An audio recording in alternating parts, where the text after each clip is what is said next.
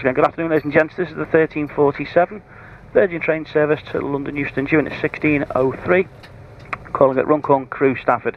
The formation of the train, standard classes from the rear. Coaches A, B, C, D, E, F, and U. First class at the front in G, H, J, and K. As I say, reservations will download very shortly. If you were given a seat at time of booking, please take up that seat. Service is quite busy.